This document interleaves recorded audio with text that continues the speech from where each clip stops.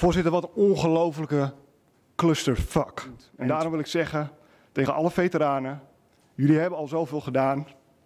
Hadden wij als politiek maar meer gedaan. En geef het woord aan de heer Boswijk, die zijn inbreng zal doen namens de CDA-fractie.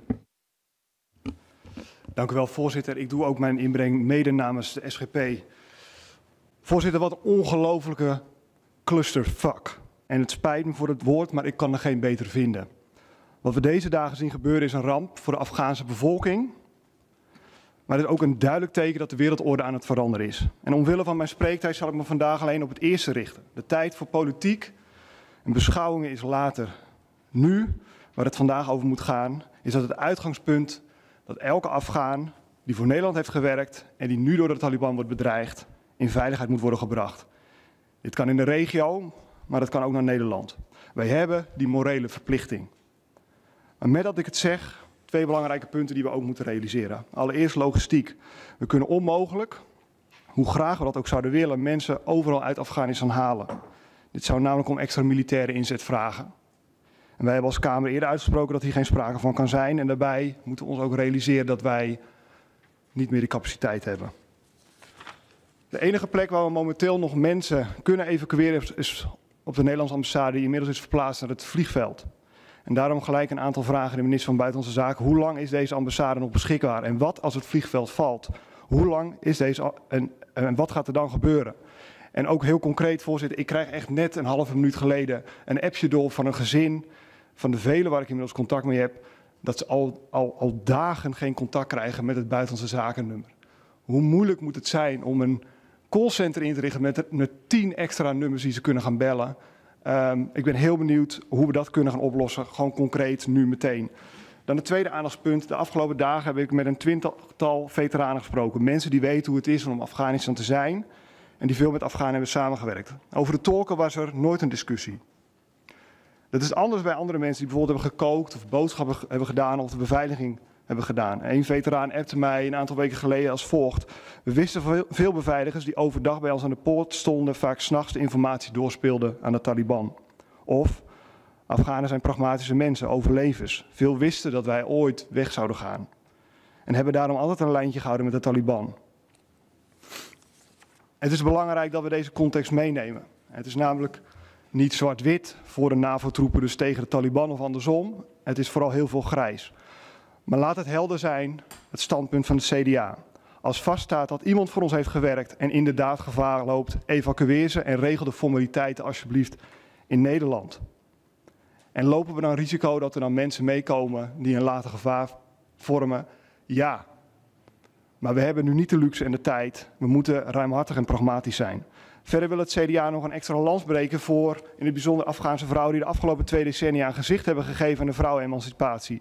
Denk bijvoorbeeld aan vrouwelijke politici, leraressen of politievrouwen. Vrouwen die nu op dit moment gevaar lopen. Wat het CDA betreft evacueren we deze vrouwen ook. Onze focus moet nu liggen op evacuatie.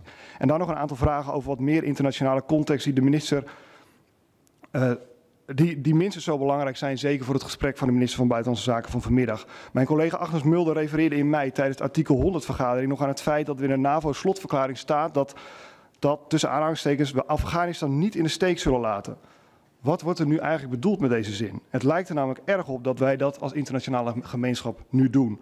En klopt het dat Merkel afgelopen zaterdag heeft aangeboden om de evacuatie samen te doen?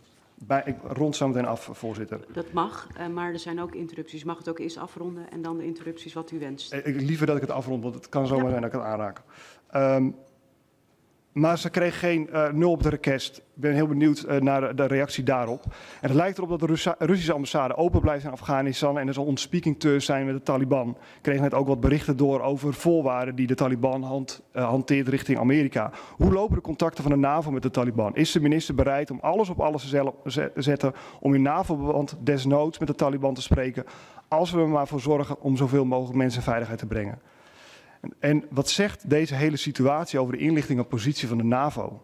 Die namelijk, even heel mild gezegd, niet op orde is. Dit kan namelijk een enorm risico zijn voor de opkomst van terroristische organisaties die Afghanistan zo meteen gaan gebruiken als een, een, een, een vrijhaven. Kunnen wij uiteraard in vertrouwen de rapportage van de MIVD over de veiligheidssituatie in Afghanistan inzien? En tot slot, Zoals ik al zei, heb ik de laatste dagen veel contact gehad met veteranen.